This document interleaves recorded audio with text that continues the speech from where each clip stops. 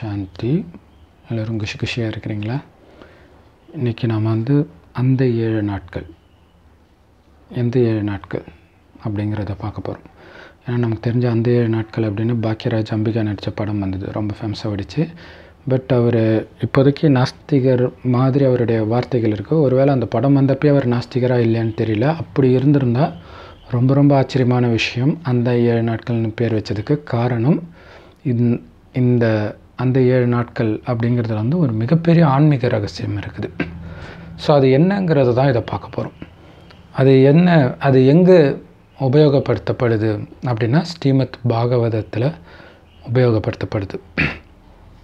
So அந்த பாகவத் புராணத்தில் அதோடைய சிறப்பம்சம் என்னென்னா அதோடைய சிறப்பம்சம் என்னன்னு சொல்கிறதே அதில் வரும். அதுதான் ஒரு பெரிய ஆச்சரியம். சத்யநாராயணன் கதையிலும் பார்த்தீங்கன்னா நிறைய கதை வரும். அந்த கதையெல்லாம் எதை பற்றி இருக்கும்னா சத்யநாராயணன் கதையை பற்றி கேட்டால் என்ன ஆகும் கேட்காட்டி என்ன ஆகும் அப்படிங்கிறதான் இருக்கும். ஸோ இந்த பாகவதமும் பார்த்தீங்கன்னா அதே மாதிரியே தான் வரும். இன்னும் கேட்டிங்கன்னா எல்லாமே அப்படி தான் இருக்கணும் ராமாயணத்தில் பார்த்தீங்கன்னா ராமருடைய ராமருடைய வாழ்க்கை போயிட்டே இருக்கும். அதில் பார்த்தீங்கன்னா ஒரு டைமில் பார்த்தீங்கன்னா ராமருடைய வாழ்க்கையை அவங்களுடைய பசங்க படிச்சுட்டு இருப்பாங்க. ஸோ இது பார்த்தீங்கன்னா ஒரு ஒரு கனவு மாதிரி இருக்கும். கனவில் பார்த்தீங்கன்னா அப்படியே வந்துட்டு இருக்கும். திடீர்னு சம்மந்தமே இல்லாமல் வேறு ஏதோ ஒன்று இருக்கும். ஆனால் ரெண்டுத்துக்கும் ஏதோ லிங்க் இருக்கிற மாதிரியே இருக்கும். திடீர்னு பார்த்தீங்கன்னா வேறு ஏதோ நடக்கும். ஸோ அந்த மாதிரி தான் எல்லா புராண கதைகளுமே இருக்கும். எல்லா மதத்து வேதங்களும் இப்படி தான் இருக்கும். ஆனால் எல்லாமே பார்த்திங்கன்னா திரும்ப திரும்ப அதே விஷயத்தை தான் சொல்லும். இப்போ உதாரணத்துக்கு நீங்கள் பைபிளே எடுத்துக்கிட்டிங்கன்னா கூட அப்ரஹாம் தன்னுடைய மனைவியை அழிச்சிட்டு ஒரு இடத்துக்கு போகிறார் போகும்போது அந்த இடத்துல இருக்கிறவங்க எல்லாரும் கடவுள் நம்பிக்கை இல்லாதவங்களா இருக்கிறாங்க. மனைவியோ அழகாக இருக்கிறா. அவளை காப்பாற்றணும் இது என் மனைவி இல்லை. என்னுடைய தங்கச்சின்னுவோம் ஏன்னா மனைவினா இவனை கொலை பண்ணிவிட்டு அவளை அடையிறதுக்கு ட்ரை பண்ணால் என்ன ஆகும்? ஏன்னா இன்றைக்கி அது மாதிரி கொலையெல்லாம் நடந்துகிட்ருக்குது இருக்குது அதனால தான் நம்ம சொன்னோம் எதுவுமே நடந்த விஷயம் இல்லை. கலியுகத்தில் நடக்க போகிற விஷயத்தை முன்கூட்டியே எழுதுறதுக்கு பே- பேர் தான் வேதம். இவங்க வந்து அது ஹிஸ்ட்ரின்னு நினச்சிட்டு உண்மை நினச்சிட்டு இருக்காங்க அப்படி எதுவுமே உண்மை கிடையாது. எந்த புராணத்திலும் எந்த வேதங்களும் எந்த மதத்தின் மத புஸ்தகங்களும் சரி. ஆனால் ஒரு உண்மையை அது வெளிப்படுத்துது. அந்த கதையாக நட நடக்கலை. அதுக்குள்ளே ஒரு ரகசியம் இருக்குது அதை கதை வடிவத்தில் சொல்லியிருக்காங்க. ஸோ அந்த ரகசியம்தான் நம்ம எல்லா வீடியோலையும் சொல்லிகிட்டு இருக்கிறோம் அது ரொம்ப சிம்பிளாக இருக்கிறனால இது எப்படி உண்மையாக இருக்கும் அப்படின்னு தோணும். ஏன்னா இதில் வந்து கேள்வி கேட்க முடியாது. ஓ இதானா? ஃபுல்லாக எல்லாத்துக்கும் ஆன்சர் வந்துடும் ஸோ அந்த மாதிரி தான் இந்த பாகவத புராணத்தில் ஆரம்பத்தில் எப்படி இருக்குன்னா அதை சொல்லணும்னு உட்காரும் பொழுது நாரதர் வரார். வரும்பொழுது ஒரு பதற்றத்தில் வரார். எல்லோரும் என்னென்னு கேட்கும்போது என்ன உலகம் இவ்வளோ மோசமாக இருக்குது ஒரு நல்லவங்க கூட இல்லை. அதனால என்ன இப்படி சொல்லுங்க நீங்கள் எங்கே போய் பார்த்தீங்கன்னும் போது எல்லா பக்தி ஸ்தலங்கள் பேராக சொல்கிறார் ராமேஸ்வரம் காசி இந்த மாதிரி இடமா. அங்கேயே பக்தி இல்லை. ஆமாம். எதுவுமே உள்ளார்ந்த பக்தி இல்லை. ஒரு உள்ளபூர்வமான பக்தி இல்லை. யார்கிட்டையுமே உண்மை இல்லை. எங்கே பார்த்தாலும் சுயநலம் தான் இருக்குது இதெல்லாம் எங்கே இருக்கும்? கலியுகத்தில் தான் இருக்கும். அதை தான் நான் சொன்னேன். கலியுகத்து விஷயத்தை தான் அங்கே போட்டிருக்கிறாங்க. சரி. அப்படி நான் தேடி போயிட்டே இருந்தேன். இப்போ பாருங்க நான் கதை சொல்லிட்டு இருக்கிற மாதிரியே வரும். ஆனால் அதுதான் கதையே. அப்போ அவர் சொல்ல நான் ஒரு இடத்துக்கு போனேன். எங்கே போனேன் யமுனை நதிக்கு போனேன். யமுனை நதி கரையில் மூணு பேர் இருந்தாங்க. ஒரு சின்ன பொண்ணு அழகாக இருந்தால் அதாவது சின்ன பொண்ணு இல்லை ஒரு இளமையான பொண்ணுக்கு இருக்கிறா. அடுத்தது ரெண்டு வயசானவங்க இருந்தாங்க. அதனால எனக்கு ஒரு யாராக இருப்பாங்க அப்படின்னு ஒரு ஆர்வம் வந்து கேட்க போனேன். அப்போ அந்த பொண்ணு சொல்கிறா இந்த ரெண்டு பேரும் என்னோட பசங்கன்ட்டு. அது எப்படி ரெண்டு பேர் பசங்களாக இருக்க முடியும்? அம்மா சின்ன பொண்ணாக இருக்கிறா பசங்க கிழவனுங்களா இருக்கிறாங்க? அப்படின்ட்டு. அப்போ அந்த பொண்ணு சொல்கிறேன் நான் வந்து பக்தி. இந்த ரெண்டு பசங்க வந்து ஞானம் வைராக்கியம் அப்படின்றா. உடனே இவர் வந்து திவ்ய திருஷ்டியில் பார்க்காரு இது எப்படி சாத்தியம்? அப்படின்ட்டு. அப்போ பக்தி வந்து ஆரம்பத்திலே வந்துச்சு. ஸோ அது யமுனை நதி அப்போ வயசாகி தான் எல்லாருமே போகிறாங்க பக்தி பக்தி சொல்லுது நானும் வயதாகி தான் இருந்தேன். ஆனால் நான் யமுனை நதி கரை வந்த நான் இளமையாகிட்டேன். ஆனால் இவங்க ரெண்டு பேர் இளமையே ஆகலை அப்படின்னு சொல்கிறாங்க அப்போ அவர் சொல்கிறார் நீ ஆரம்பத்துலேருந்தே வந்திருக்கிற. சரி இவங்களை வந்து எப்படி இப்போ மாற்றுறது எப்படி இவங்களை இளமைக்கு எடுத்துகிட்டு வர்றது? அப்படின்னு நாரதர் யோசிச்சுட்டு இருக்கும்போது ஆகாசவாணி கேட்குது அதாவது ஆகாயத்திலேருந்து வர குரல் அசரீரி குரல். என்ன சொல்லுதுன்னா ரொம்ப ஈஸி என்ன அது?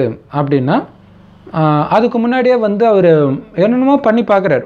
கீதை சொல்லி பார்க்குறாரு இதை பண்ணி பார்க்குறாரு எதை பண்ணி எது பண்ணியும் ஒன்றும் வேலைக்கு ஆகலை. அப்போ தான் ஆகாசவாணி சொல்லுது நீ வந்து பாகவதத்தை பாடு. அது முடித்த உடனே அது ஏழு நாள் இல்லையா? ஏழு நாள் நீ முடிச்சிட்டன்னா முடித்தோடனே அவங்க இளமை ஆகிடுவாங்க அப்படின்றார். இவருக்கு ஒன்றுமே புரியல. ஏன்னா இவ்வளோ இது கேட்டு என்னென்னமோ பண்ணி பார்த்தா அப்போல்லாம் ஆகாதது இதில் ஆகிடுமா? ஸோ அதுதான். என்ன அப்படின்னா ரொம்ப சிம்பிளாக இருக்கும். ஒரு மிகப்பெரிய ரகசியம் வந்து ரொம்ப எளிமையாக தான் இருக்கும். ஆனால் நம்ம என்ன பண்ணுவோம்? பட்டினி கிடக்கணும் கோவிந்தா கோவிந்தா சொல்லணும் அரோகரா சொல்லணும் கண் விழிக்கணும் இமயமலை வரை நடந்தே போகணும். என்னென்னமோ பண்ணால் பண்ணிவிடுவோம் ஆனால் ரொம்ப சிம்பிளான விஷயத்த பண்ண மாட்டோம். ஸோ அந்த மாதிரி தான் சொல்கிறாரு இது எளிமைன்னு நினைக்காத இது எளிமை தான் ஆனால் இதில் தான் வந்து அவங்க இளமைக்கு திரும்ப முடியும் அப்படின்றாங்க. இன்னொரு விஷயம் என்னென்னா இந்த இது வந்து கலியுகம். கலியுகத்தில் ஒரு சிறப்பம்சம் இருக்குது ஏன்னா இது நடக்கிறது வந்து கலியுகம். கலியுகத்தில் தான் அது நாரதர் போய் பார்க்குறாரு. இந்த மூணு பேர் அப்படி இருக்கிறாங்க. அப்போ இந்த கலியுகத்தை பொறுத்த வரைக்கும் எல்லாமே ஈஸியாக இருக்கும். முக்தி அடையிறது. ஆனால் யாராலையும் அடைய முடியாது. ஏன்? அந்த ஈஸியான விஷயம் அதுதான் உண்மைன்னு அவங்களால அடையாளம் கண்டுக்க முடியாது. அலைஞ்சிட்டு கஷ்டமான விஷயத்து பின்னாடி அலைஞ்சிட்டு இருப்பாங்க. ஸோ அதானே நடக்குது இன்றைக்கி இல்லையா பக்தின்ட்டு அங்கே இங்கே அலைஞ்சிட்டு கிரிவலம் சுற்றுறது பட்டினி கிடக்குது அதெல்லாம் பண்ணுறாங்க ஆனால் இறைவனுடைய ஞானம் கேளுனா யாரும் கேட்குறது கிடையாது. ஸோ இங்கே வந்து முக்தி அடையிறதுக்கான வழி ரொம்ப ஈஸி ஆனால் அடையிறது கிடையாது. சரி இப்போ இவங்களை எழுப்பணும் அப்படின்னா நீ இந்த ஞானத்தை அந்த பாகவதம் ஏழு நாள் நீ படிச்சிட்டேன்னா அவங்க இளமைக்கு திரும்பிடுவாங்க அப்படின்வாங்க ஸோ அதுக்கு ஒரு ரகசியம் இருக்குது அந்த ரகசியத்தை சொல்லிவிட்டு அடுத்தது ஒரு கதை வரும் இதுலேயே அது என்ன ரகசியம் அப்படின்னா அது என்ன பக்தி இளமைக்கு வந்துடுச்சு ஞானம் வைராக்கியம் முதுமையில் இருக்குது அப்படிங்கிறதும் சரி இந்த ரகசியம் கூட நம்ம அப்புறம் பார்க்கலாம். அடுத்தது ஒரு கதை. அது என்ன அப்படின்னா ரெண்டு பேர் இருப்பாங்க. இந்த கதைக்குள்ளே ஒரு கதையாக அது வரும். அதில் என்னென்னா ஆத்மதேவன் அடுத்தது வந்து அவருக்கு மனைவி துந்துலி அப்படின்ட்டு ஒருத்தி இருப்பாள் அப்போ அந்த துந்துலிக்கு வந்து குழந்தை பிறக்கல. அதனால் இவர் தம் கடந்து பிரம்மதேவர்கிட்ட வரம் வாங்கி அவர் ஒரு கனியை கொடுப்பாரு. அதை எடுத்துகிட்டு போய் இதை சாப்பிட்டா உனக்கு குழந்தை பிறக்கணுன்னு அவர் சாப்பிட மாட்டான் ஏன்னா நான் தாயாயிட்டா கர்ப்பம் ஆகிட்டேன்னா என்னால் உலகத்தை என்ஜாய் பண்ண முடியாது அப்படின்ட்டு போய் மாட்டு கொடுத்துருவார் ஸோ இது இது எல்லாமே பார்த்தீங்கன்னா இப்போ நடக்கிற விஷயங்கள் தான். எப்போ நடந்த மாதிரி அதில் வரும். ஆனால் பார்த்திங்கன்னா இப்போ நடக்கிற இப்போ தானே குழந்தை பெற்றுக்கக்கூடாது காமத்திலே இருக்கணும் வாழ்க்கையை என்ஜாய் பண்ணணும் அப்படின்னு நினைக்கிறது சரி. அடுத்தது அதை வந்து ஒரு மாட்டுக்கு கொடுத்துட்றா. அந்த பழத்தை. ஸோ இதுக்கு இன்னொரு அர்த்தம் என்னென்னா பக்தி மேலேயும் யாரும் உள்ளபூர்வமாக பண்ணல இல்லையா? ஸோ அப்படி. அந்த பயபக்தியோட ஒரு பிரசாதத்தை சாப்பிட்றது அதெல்லாம் இப்போ கிடையாது. அந்த மாதிரி ஆயிடுச்சு. அடுத்தது இப்போ ஆனால் அந்த டைமுக்கு குழந்தை வேணுமே அப்படின்ட்டு கணவன் கேட்பார் அப்போ என்ன பண்ணுறது அப்படின்னா அந்த நேரம் உண்மையிலே அவளுடைய தங்கச்சி கர்ப்பமாக இருப்பாள் அப்போ சொல்லுவாள் நீ வந்து என்னுடைய குழந்தை உன்னுடைய குழந்தைய என்கிட்ட கொடுத்துடு. நானும் கர்ப்பம் ஆயிடுவேன் உனக்கு குழந்தை கொடுத்துருன்ட்டு காசெல்லாம் கொடுத்து கரெக்ட் பண்ணிடுறான் ஸோ அதே மாதிரி குழந்தைய எக்ஸ்சேஞ்ச் பண்ணிக்கிறாங்க. ஆனால் என்ன ஆகுதுன்னா அந்த முனிவர் கொடுத்த பழத்தினால் வந்ததுனால ஞான பழத்தை சாப்பிட்டு பிறந்ததுனால அந்த மாட்டுக்கு ஒரு குழந்தை பிறக்குது. ஸோ அந்த குழந்தைக்கு பேர் வந்து கோகர்ணன் அப்படின்னு வைக்கிறாங்க. கோனா பசு கர்ணன்னா காது. ஸோ அதனால் அவனுடைய காது வந்து பசுமாடு மாதிரி இருந்துச்சான் ஸோ ஆனால் ஞானத்தில் ரொம்ப பக்காவாக இருக்கிறான். இப்போ அந்த தங்கச்சிக்கிட்ட இருந்து வாங்கிட்டு வந்தாங்க இல்லையா? அந்த குழந்தை வந்து பயங்கரமான அடாவடி பார்ட்டி. இருக்கிற எல்லா கெட்ட பழக்கமும் அந்த குழந்தைகிட்ட இருக்குது. ஸோ எனக்கு இதை கொடு அதை கொடுன்னு அம்மாவை டார்ச்சர் பண்ணி பண்ணி ஏன்னா வளர்க்குறது துந்திலி இல்லையா? தங்கச்சியுடைய குழந்தையா தன்னுடைய குழந்தைன்னு வளர்க்குறான். அப்போ கேட்டு கேட்டு பார்த்துட்டு ஒரு டைம் அம்மாவை வந்து கிணத்துல தள்ளி சாவடிச்சிட்டான். அதுக்கப்புறம் இவனும் ஒரு வயசாகி செத்துட்டான். ஆனால் இந்த பையன் கோகர்ணன் இருக்கிறான் இல்லையா? ஞானப்பழத்தினால பிறந்தவன். அவன் வந்து ரொம்ப ஞானம் இருக்கனால சத் சங்கம் அது இதுன்னு தேடி போய்கிட்டு இருக்கிறான். அப்போ வந்து ஒரு நாள் அவன் தவம் கிடக்கும்போது சத்தம் கேட்குது காற்று சத்தம் கேட்குது என்ன சத்தம் அப்படின்னு பார்த்தா அந்த துன் துந்திலி வளர்த்த பையன் அதாவது தங்கச்சி பையன் அவனுடைய பேர் வந்து துந்திலிக்காரன். ஸோ அவன் சொல்கிறான் நான் உன்னுடைய தம்பி தம்பியா? எனக்கு அப்படி யாரும் இல்லையே. இல்லை நான் உன் உன்னுடைய சகோதரன் தான் நான். துந்திலிக்காரன் அவன் தான் இறந்துட்டானே நான் வர சிரார்த்தம்லாம் பண்ணிட்டேனே. நீ பண்ணுற சிராஸ்தத்துலலாம் நான் வந்து முக்தி அடைஞ்சிடுவேனா என்ன? அவ்வளோ பாவம் பண்ணியிருக்கிறேன்னா நீ என்ன பண்ணுவியோ தெரியாது எனக்கு எப்படியாவது நீ முக்தி கொடுக்கணும் அப்படின்ட்டு சகோதரன்கிட்ட சொல்கிறான் அப்போ இவருக்கு ஒன்றும் புரியல. நான் என்ன பண்ணுறது அப்படின்ட்டு கோகர்ணன் இருக்கிறார். அப்போ அந்த பக்கமாக சூரியதேவன் வரார் இப்போ சூரியதேவன்கிட்ட கேட்கும்பொழுது அவர் சொல்கிறார் ஒன்றும் இல்லை. நீ வந்து இந்த பாகவதம் படி ஏழு நாள் படி ஏழு நாளில் முடிக்கிற மாதிரி ஸோ ஏழாவது நாளில் அவன் முக்தி அடைஞ்சிடுவான் அப்படின்றான் ஸோ அப்போ வந்து இன்னும் நிறைய பேர் ஊர் மக்கள்லாம் இருக்கிறாங்க. சரி எல்லார் முன்னாடியுமே எடுக்கிறோம் அப்படின்ட்டு அவர் படிக்கிறார். கோகர்ணன் படிக்கிறார். படிக்கும் பொழுது நான் எப்படி வந்து இதை தெரிஞ்சுக்கிறது? இந்த அவன் முக்தி அடைஞ்சிட்டானா இல்லையான்ட்டு அப்போ சூரியன் சொல்கிறாரு நீ ஒவ்வொரு நாளும் படிக்கும்போது அந்த மூங்கியில் இருக்கிற ஒரு ஒரு கண்ணும் வெடிக்க ஆரம்பிக்கும். ஸோ அது மாதிரி ஏழு நாள் ஏழு கண் வெடிச்சோடனே அவன் முக்தி அடைஞ்சிட்டான்னு புரிஞ்சுக்கோ அப்படின்றார் சரி அப்போ அதே மாதிரி படிக்கிறார். படித்து முடிச்சுட்டு முக்தியும் அடைஞ்சாச்சு. அவர் முக்தி அடைஞ்சிட்டார். அப்போ இவருக்கு ஒரு டவுட்டு சரி அவர் முக்தி அடைஞ்சிட்டாரு. இப்போ இத்தனை பேர் முன்னாடியில் நான் இதை வாசித்தேன் அப்போ இவங்களுக்கும் முக்தி அடைவாங்களா? அப்படின்னா சூரியன் சொல்கிறாரு அப்படி கிடையாது. ஏன்னா அவர் அவன் பேயா அலையிறான். அவன் எப்படா இதுலேருந்து தப்பிக்கணும்னு இருக்கிறான். இல்லையா? நான் இதை விட்டால் எனக்கு வேறு வாய்ப்பே இல்லை. முக்தியே அடைய முடியாமல் எவ்வளோ நாள் தான் பேய் அலையிறது அப்படின்னு நான் எப்படியும் போகணுன்ட்டு அவ்வளவு கவனத்தோடு கேட்டான். அதன்படி நடந்தான். அதனால் போயிட்டான். அதனால் அவனுக்கு வைராக்கியம் வந்துச்சு. இந்த உலக வாழ்க்கை பிடிக்காமல் போயிட்டான். ஆனால் இவங்க எல்லோரும் உலகில் இன்பத்திலேருந்து சும்மா ஏதோ ஓடுதே கேட்போமேன்ட்டு வந்திருக்கிறவங்க. ஸோ ரெண்டு பேருக்கும் வித்தியாசம் இருக்குது இல்லையா? அந்த வைராக்கியம் வந்தால்தான் அவங்க இங்கேருந்து போக முடியும். இல்லை இந்த உலகியல் வாழ்க்கையிலிருந்து வைராக்கியம் வரணும். இதை கரெக்டாக சொன்னால் இதை பக்தின்னு கூட சொல்லலாம். அது எப்படின்றத நான் அப்புறம் சொல்கிறேன் இல்லை இந்த உலகில் கவர்ச்சி அதாவது நிறைய பேர் என்ன நினச்சிக்கிறாங்க? ஸோ பக்தியே அதுக்கு தானே. பக்தி எதுக்கு பண்ணுறாங்க எனக்கு குழந்தை வேணும் அழகான மனைவி வேணும் பில்டிங் வேணும் வீடு வேணும். இது மாதிரி வேணும் வேணும்னு தான் கேட்டுட்ருக்குறாங்க. ஸோ இப்படி வேணும் வேணும்ன்றது பக்தி. எதுவுமே எனக்கு வேண்டாம். நீ மட்டும் வேணும் அப்படிங்கிறது தான் வைராக்கியம். ஸோ நீ மட்டும் வேணும் அப்படிங்கிற நினைவில் அவன் இருந்தான். நீ வந்து இதை படிக்கும்போது. அதனால் அவன் போயிட்டான். ஆனால் இவங்க அந்த நிலையில் இல்லை அப்படின்றான் ஸோ இப்போ நீங்கள் அதை கேட்டுட்டு இருக்கும்போது அவங்க அவங்கக்கிட்ட சொல்கிறாங்களா நம்மக்கிட்ட சொல்கிறாங்களா அப்படின்னு தோணும். ஏன்னா அது எல்லாமே நமக்காக சொல்லப்பட்டது தான். அதை புரிஞ்சுக்கணும். எல்லாமே நமக்காக சொல்லப்பட்டது. இந்த டைமுக்காக சொல்லப்பட்டது தான். அதே மாதிரி தான் இறைவனுடைய ஞானமும். இந்த ஏழு நாள் இல்லையா?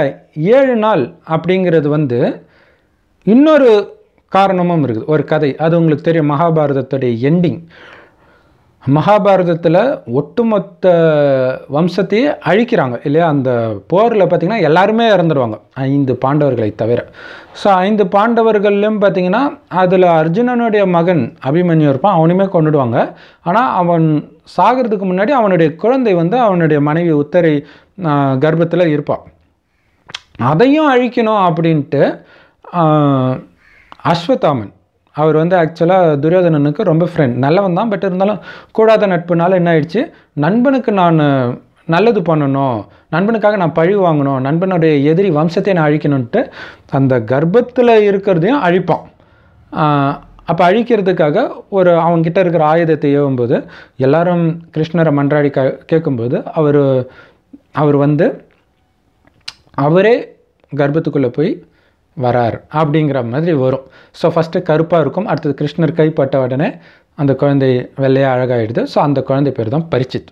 ஸோ இதோடைய கரெக்டான அர்த்தம் என்னென்னா புத்தம்புது உலகம் உருவாகுது அதுக்கப்புறம். பரிச்சித்துன்றது புத்தம்புது உலகம் உருவாகுது அப்படின்னு அர்த்தம். உண்மையிலே பரி அப்படின்னாலே தேவதை அப்படின்னு தான் அர்த்தம். ஸோ புத்தம்புது உலகம் உருவாகுது. இப்போ பார்த்திங்கன்னா இப்போ அந்த பரிச்சத்துக்கு ஒரு முடிவு காலம் வர்றது. அப்போ பரிச்சயத்துடைய முடிவு காலம் எப்படி வருது அப்படின்னா அவர் ஒரு பெரிய ராஜாவாக இருக்கிறார். அப்போ ஒரு தடவை வந்து முக்கியமாக கலி கலி காலத்தில் தான் பிரச்சனை வருது. பரிச்சித்துன்றது புத்தம்புது உலகம் அது வந்து வேற யுகம் சத்தியுகம். ஸோ அவனுடைய இறுதி காலம் கலியுகத்தில் வருது. ஸோ கலியை வந்து கலிக்கும் அவருக்கும் ஃபைட்டு நடக்குது. அப்போ களி வந்து சொல்லுது நீ எதுக்கு என்னை எதிர்க்கிற? நாலு யுகத்தில் நானும் ஒருத்தன் தானே. நான் என்னை படித்தேன் படித்த கடவுளை போய் கேளு. நீ எதுக்கு என்னை எதிர்க்கிற? அப்படின்னு கேட்குறாங்க ஸோ இதில் இன்னொரு விஷயம் என்னென்னா இந்த நான்கு யுகம் வேதத்தில் ஆக்சுவலாக கிருதா யுகம்னு இருக்கும். அது உண்மையிலே சத்யுகம். ஸோ பேரே அங்கே மாத் மாற்றி இருக்கனால நமக்கு புரியல. அதை பற்றி ஞானம் யாருக்குமே இருக்காது. திரேதாயுக துவாபரயுகத்தை பற்றி தான் சொல்லுவாங்க தவிர கிருதாயுகத்தில் என்ன நடந்துச்சுன்னு சொல்ல மாட்டாங்க. ஸோ அது உண்மையிலே அதோடைய பேர் சத்யுகம். அதாவது உண்மையான யுகம் இறைவன் படைத்த யுகம். ஸோ அந்த சத்யுகம் இருக்குது. அங்கே வந்து நான்கு கால்களால் உலகம் நிற்கிது அப்படின்னு இருக்கும். திரேதா யுகத்துக்கு வரும்போது அடுத்த யுகத்துக்கு வரும்போது ஒரு கால் போயிடுது. துவாபர யுகத்துக்கு வரும்போது இன்னொரு கால் போய் ரெண்டு காலில் நிற்குது கலியுகத்தில் வரும்போது ஒரே கால் ஒத்த கால் ஆடிக்கிட்டு இருக்குது. ஸோ அந்த காலையும் உடைக்கணும் அப்படின்ட்டு பரிச்சித்து நினைக்கும் போது தான் அப்படி கேட்குது நான் என்ன பாவம் செஞ்சேன்? நான் நான் என்ன படித்தேன் படித்தவரை போய் கேளு அப்படின்னும்போது. ஸோ என்னை மட்டும் ஏன் அழிக்கணும்னு நினைக்கிற? அப்படின்போது ஏன்னா நீ துக்கம் கொடுக்குற எங்களுக்கு. நான் என்ன பண்ணுறது அப்படின்னு பரிச்சித்து கேட்குறான் அப்போ சொல்கிறான் சரி நீ எனக்குன்னு சில இடங்கள் எந்தெந்த இடத்துல நான் சொல்கிற இடத்துல தான் நான் இருப்பேன். ஏன் அந்த இடத்துக்கு நீ வரலைன்னா நீ தப்பிச்சிடலாம் அப்படின்ட்டு ஸோ அப்போ நிறைய இடங்கள் சொல்லுது அது என்னென்னா காமம் கோபம் பற்று பேராசை பொறாமை இந்த மாதிரி கெட்ட குணங்கள் உள்ளது. பேராசை இந்த மாதிரி சூதாடுற இடம் விபச்சாரம் பண்ணுற இடம் காமத்தில் மூழ்கிற இடம். ஸோ இந்த மாதிரி இடம். ஆக்சுவலாக இது இல்லாத இடமே கலியுகத்தில் கிடையாது இல்லையா? ஸோ இதுலேருந்து நீ விலகி இருந்தன்னா நீ தப்பிச்சிடுவ. அப்படின்னு சொல்லுது. சரின்ட்டு ஒரு நாள் வந்து பரிச்சித் வந்து வேட்டையாட போகிறார் வேட்டையாடும் போது ரொம்ப தாகம். பார்த்தா ஒரு முனிவர் வந்து உட்காந்துட்டு இருக்கிறாரு தவம் பண்ணிட்டு இருக்கிறாரு. இவன் போனோடனே அவர் தடபுடலாக கவனிப்பான்னு நினச்சா அவர் கண்டுக்காமல் அவர் பாட்டுக்கு சிவனே கதின்ட்டு தவம் பண்ணிட்டு இருக்காரு. அப்போ இவனுக்கு கோபம் வந்துடுது நான் ஒரு ராஜா இவன் என்ன இப்படி இருக்கிறான்? அப்படின்ட்டு என்ன பண்ணுறான் ஒரு பாம்பு பிடிச்சி அவர் தோலில் சுற்றிட்டு வந்துட்டான். அவர் அவமானப்பத்தி நினச்சிட்டு வந்துடுறான். அப்போ அந்த முனிவருடைய பையனுக்கு பார்த்தோன்னே அவனுக்கு கோபம் வந்துடுது. கோபம் வந்ததுன்னா அந்த ராஜாவை சபிக்கிறான். இந்த ராஜா ஏழே நாளில் இதே மாதிரி ஒரு பாம்பு கடிச்சு சாகணும் அப்படின்ட்டு. ஸோ அது தெரிஞ்சிடுது. ராஜாவுக்கு தெரிஞ்சிருது பயம் வந்துச்சு. ஐயோ நம்ம எவ்வளோ பெரிய தப்பு பண்ணிட்டோன்ட்டு பரிச்சத்துக்கு. அதேமாதிரி முனிவர். ஸோ இது ரொம்ப முக்கியமான விஷயம். முனிவருக்கு வந்து பார்க்குறாரு. பாம்பை பற்றிலாம் அவர் கவலைப்படல. ஏன்னா பாம்புன்றது ஆக்சுவலாக விகாரம். அது பின்னாடி சொல்கிறேன் என்னன்ட்டு.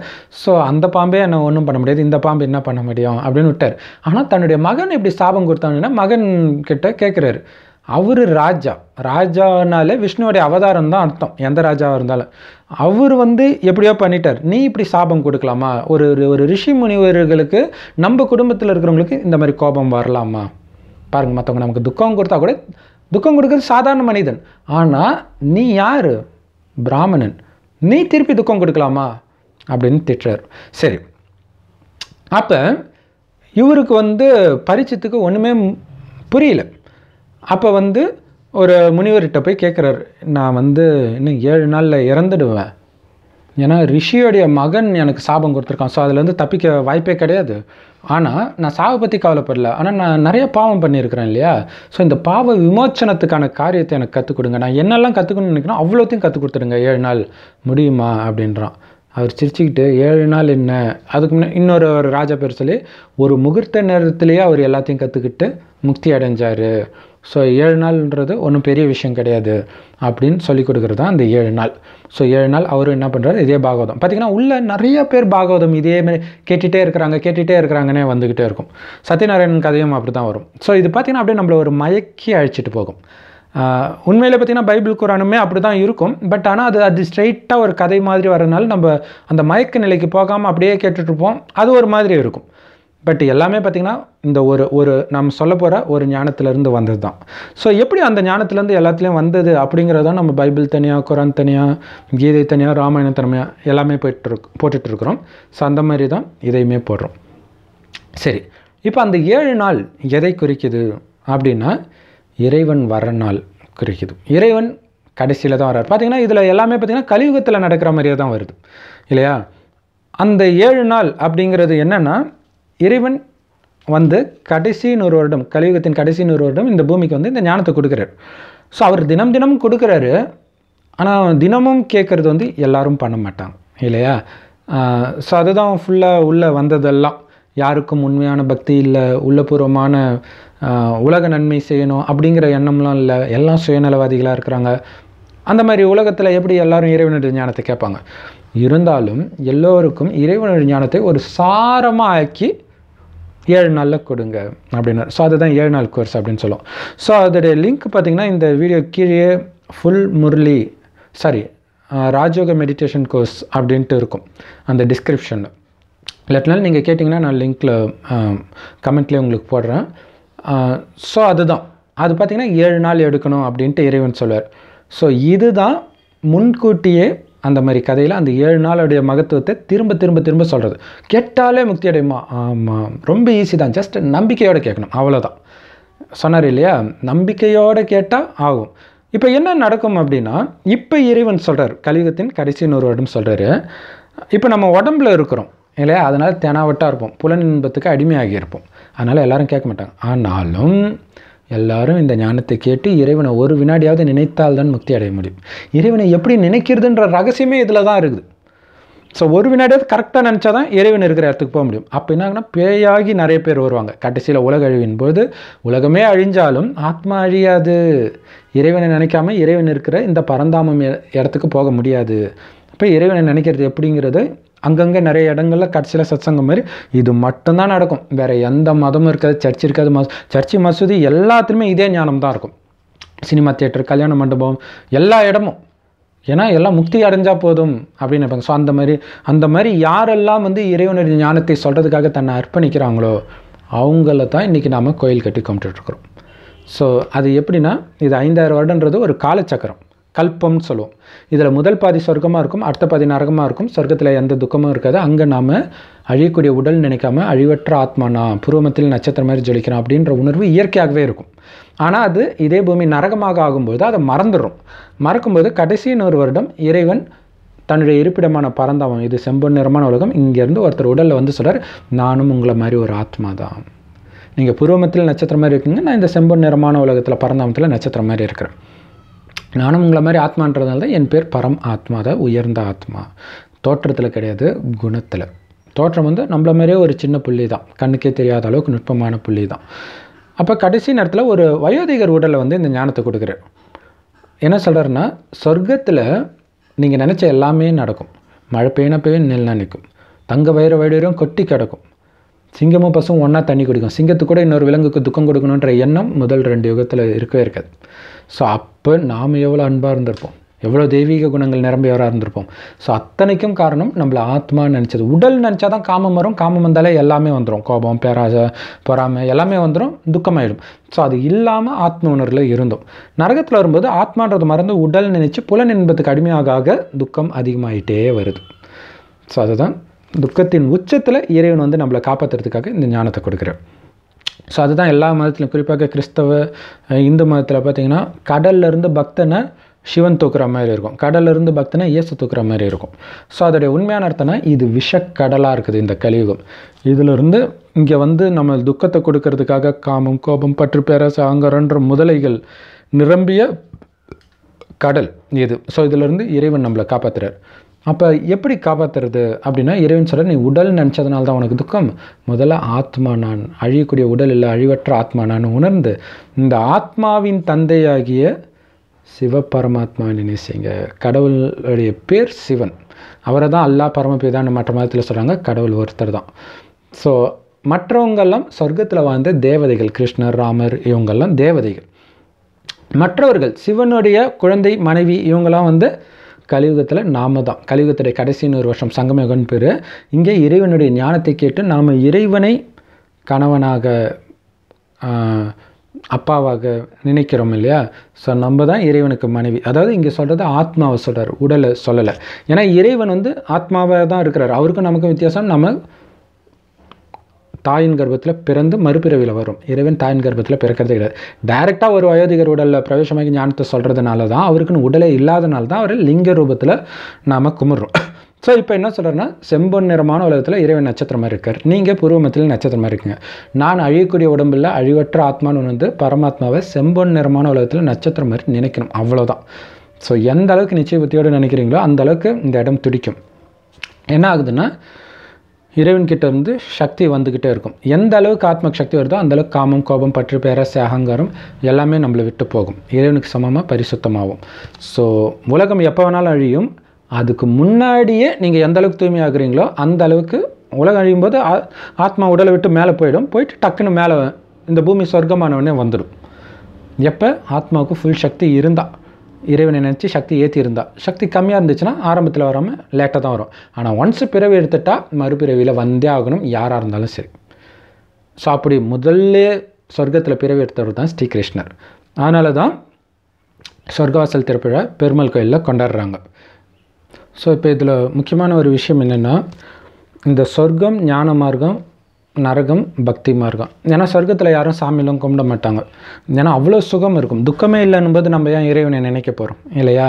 ஸோ அப்படி இருக்கும்போது துக்கம் வரும்போது தான் இறைவனை நினச்சி மதங்கள் வேதங்கள் கோயில்கள் மசூதி சர்ச் எல்லாமே வருது. ஸோ அதனால் குழப்பமும் வருது. ஸோ அப்போ நரகத்தில் பக்தி இளமையாக இருக்குது. அப்படின்னா அப்போ தான் பக்தி தோன்றுது. ஞானம் வந்து வயசாயிடுச்சு. ஞானத்துடைய இது முடிஞ்சிருச்சு. இல்லையா? ஞானம் வைராக்கியம் ரெண்டுமே வயசாயிடுச்சு. ஸோ இப்போ பக்தி இளமையாக இருக்குது இந்த ஞானம் கேட்கும் பொழுது என்ன ஆகும்னா இறைவனுடைய ஞானம் கேட்கும்போது பக்தி முடிஞ்சிச்சு. சுத்தமாக முடிஞ்சிருச்சு. அடுத்தது ஞானம் ஞானமும் வைராக்கியமும். அப்போ என்னென்னா இந்த பக்தியை விடுறது தான் உண்மையிலே வைராக்கியம். பக்தினாலே காமம் கோபம் இதை தீர்த்துக்கிறதுக்கு தான் நம்ம பக்தியே பண்ணுறோம் ஸோ இதை ஃபுல்லாக விடணும். ஸோ பக்தி வந்து எல்லா மதங்களும் இது எல்லாமே மனிதர்கள் உருவாக்குனது தான். ஸோ அதை எல்லாத்தையும் விட்டுட்டு இறைவனை மட்டும் பிடிக்கணும். இறைவன் நட்சத்திரமாக இருக்கார் அவரை நினைக்கிறேன். அவருடைய ஞானத்தை கேட்கணும். ஸோ அதுதான் எல்லா ராஜயோக தியான நிலைகளும் முற்றிலும் இலவசமாக பதிக்கப்படுது. அதுக்கு பேர் முரளி அப்படின்னு சொல்லுவோம். நீங்கள் யூடியூப்பில் கூட பிகே சரணகுமார் தமிழ் முரளின்னு சர்ச் பண்ணிங்கன்னா பார்க்கலாம். இது கீழே லிங்க் இருக்கும். ஃபார் ஃபுல் முரளின்ட்டு டிஸ்கிரிப்ஷனில் இருக்கும். அது இல்லாமல் ஹேஷ்டேக் தமிழ் முரளின்னு லிங்க் இருக்கும். ஸோ அதெல்லாம் கிளிக் பண்ணிங்கன்னா பார்க்கலாம். இல்லாட்டினா இந்த நம்பருக்கு நீங்கள் எஸ்எம்எஸ் அனுப்புனீங்கன்னா கூட நாங்கள் அனுப்புகிறோம் plus nine one nine eight nine four six seven one seven four three so once பார்த்தீங்கன்னா சப்ஸ்கிரைப் பண்ணிட்டு நோட்டிஃபிகேஷன் பெல் கிளிக் பண்ணிட்டீங்கன்னா டெய்லியும் உங்களுக்கு வரும். அவசியம் அதை பாருங்கள்.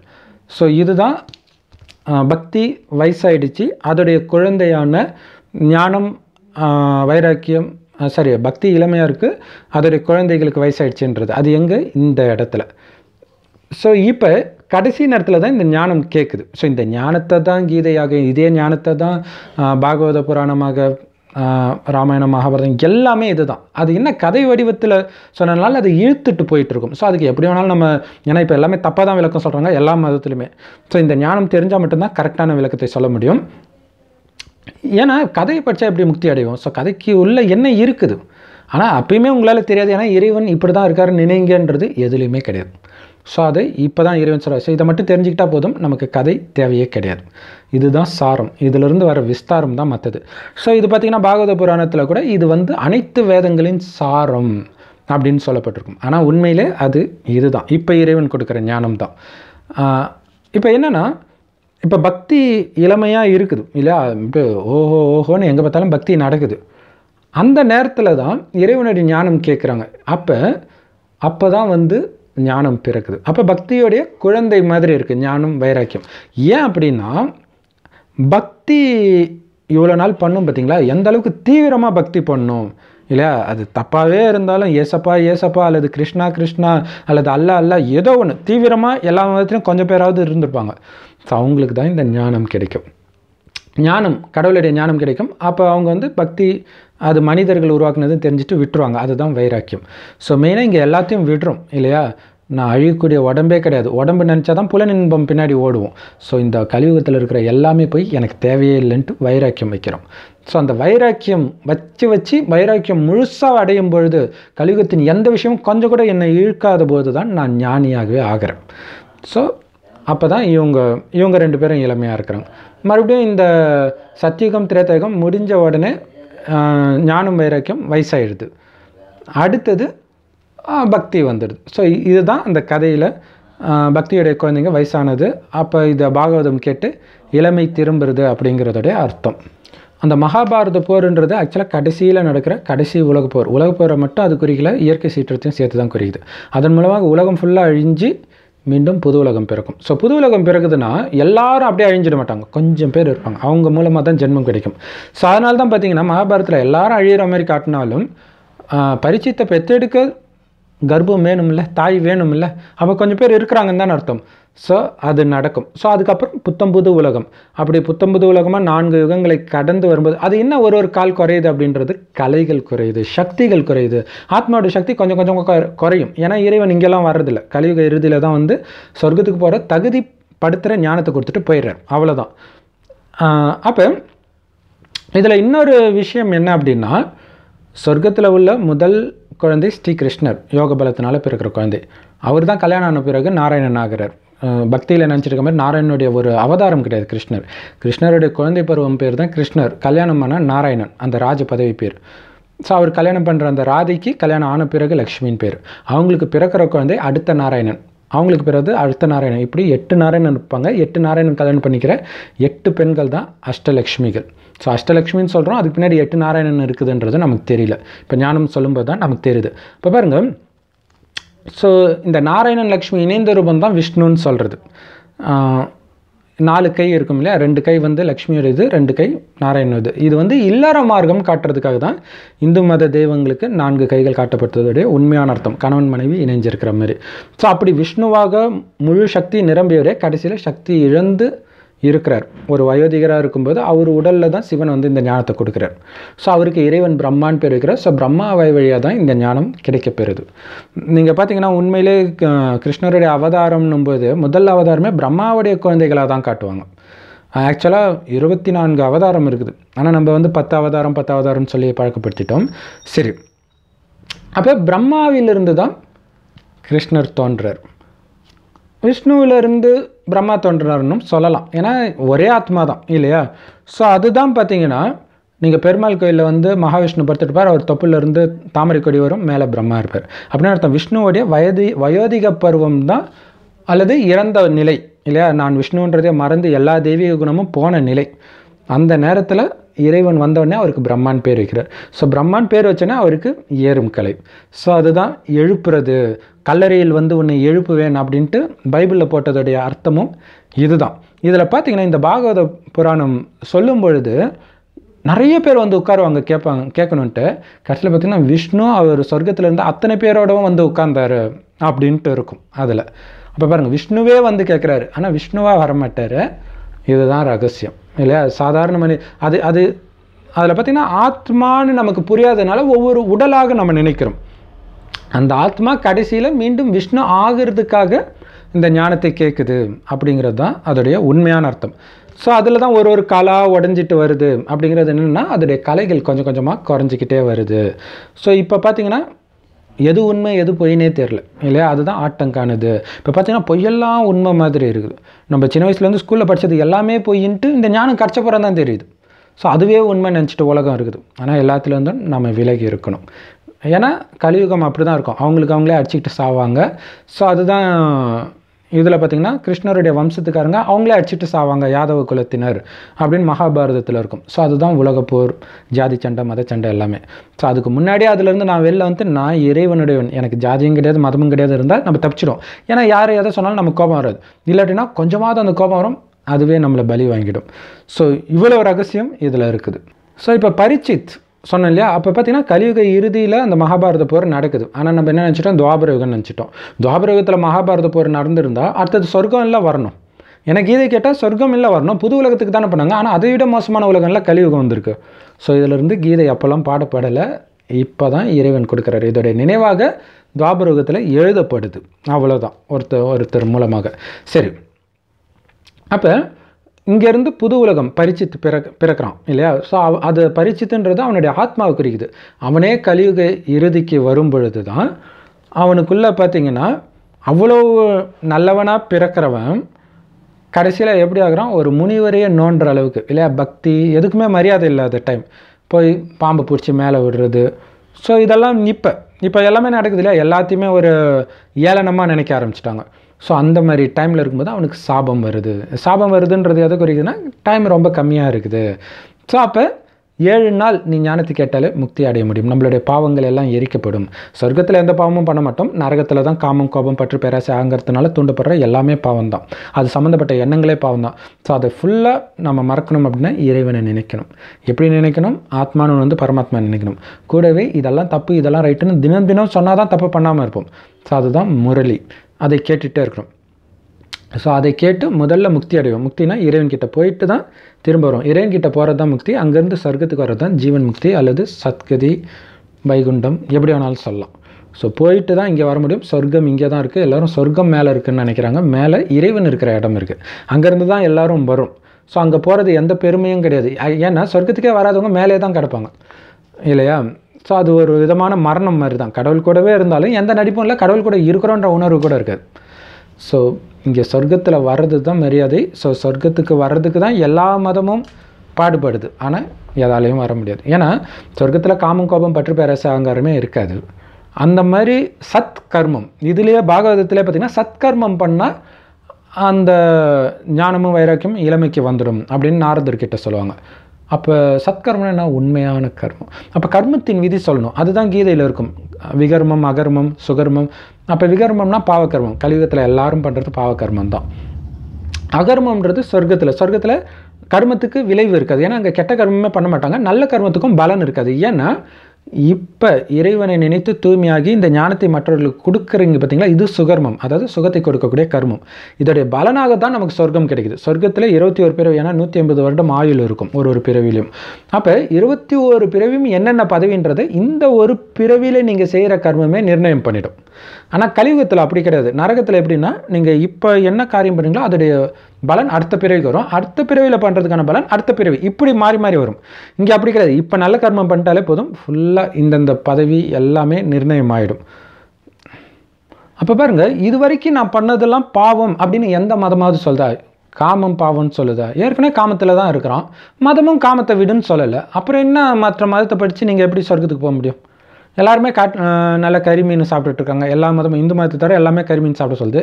இந்து மதத்துலேயும் சாப்பிட சொல்லுதுன்னு எங்கேயோ தேடி கண்டுபிடிச்சி நாஸ்டிகரில் எடுத்தான்னு சொல்கிறான் அப்புறம் எப்படி சொர்க்கத்துக்கு போக முடியும்?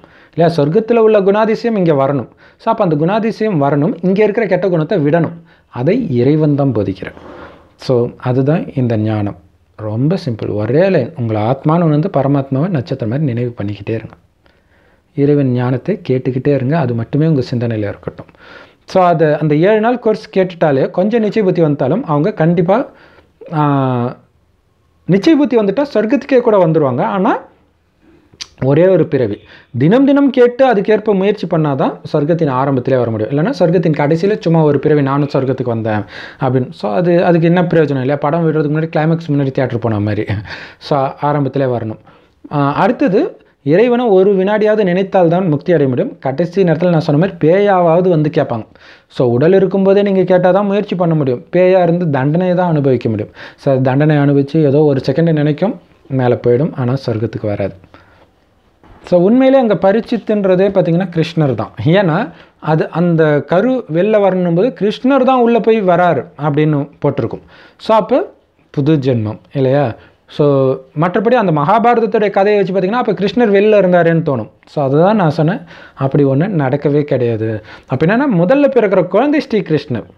ஸோ அந்த ஒரு உண்மையை அப்படி வெளிப்படுது. அவங்க யோசித்து எழுதல அவங்களுக்கு இந்த ஞானம் தெரியவும் செய்யாது. இந்த ஐயாயிரம் வருஷத்தில் இப்போ மட்டும்தான் நமக்கு ஞானம் தெரியும். ஏன்னா இந்த ஞானம் இறைவனுக்கு மட்டும்தான் தெரியும். அவர் தான் வந்து வெளிப்படுத்துகிறார் கிருஷ்ணருக்கே தெரியாது. ஏன்னா சொர்க்கத்தில் வந்தோடனே மறந்துடுவோம். இந்த மாதிரிலாம் நம்ம முயற்சி பண்ணி தான் சொர்க்கத்துக்கு வந்தோம் அப்படின்றது நமக்கு ஞாபகம் இருக்காது அப்போ பாருங்கள் கிருஷ்ணருடைய ஆத்மா அதுவே கடைசியில் வந்து அந்த மாதிரி பாவக்காரியங்களில் ஈடுபட்டு இருக்கும்போது காப்பாற்றுறார் ஸோ அதுதான் அந்த ஏழு நாள் கேட்டவுடனே பரிசித் முக்தி அடைந்தான் அப்படின்னு வருது. ஸோ இன்னும் மேலும் மேலும் நிறைய வீடியோக்கள் பாகவதத்தை பற்றியும் போட ட்ரை பண்ணுறோம் ஸோ பைபிள் குரான் எதை பற்றி பேசினாலும் அது எல்லா மதத்துக்கும் பொருத்தமானதாக தான் இருக்கும். ஸோ அதனால் இந்த மதம் தானே அந்த மத மதம் தானே அப்படின்னு கண்டிப்பாக பார்க்காம இருக்காதீங்க. இறைவன் ஒருத்தர் தான் அவர் கொடுக்குற ஞானமும் ஒன்று தான். அது எல்லா மதத்துலேயும் கொஞ்சம் கொஞ்சம் தெளிச்ச மாதிரி இருக்குது ஸோ அதை எடுத்து கொடுக்குறோம். அதை கேட்கும்போது உங்களுக்கு ஆனந்தமாக இருக்கும். கேட்குறதோட நிறுத்திக்காமல் உங்களுடைய நண்பர்களுக்கும் ஷேர் பண்ணுங்கள் ஏன்னா வேறு எங்கேயுமே இது கிடைக்காது. ராஜயோக தியான நிலையங்களில் மட்டும்தான் இது கிடைக்கிது. ஸோ எல்லோருக்கும் இந்த வீடியோவை நீங்கள் ஷேர் பண்ணுங்கள் பிடிச்சிருந்தா லைக் பண்ணிவிட்டு உங்களோட மேலான கருத்துக்களை கமெண்ட்டில் தெரிவிங்கள். சப்ஸ்கிரைப் பண்ணலன்னா சப்ஸ்கிரைப் பண்ணிட்டு பக்கத்தில் இருக்கிற நோட்டிஃபிகேஷன் பெல் கிளிக் பண்ணிவிட்டு ஆல் பர்சனலைஸ்டு நன்னு மூணு ஆப்ஷன் வரும். ஸோ அதில் ஆல் அதை கிளிக் பண்ணிங்கன்னா நம்ம போடுற எல்லா வீடியோக்களும் உடனடியாக உங்களுக்கு வரும். ஓம் சாந்தி. தேங்க்ஸ் ஃபார் வாட்சிங்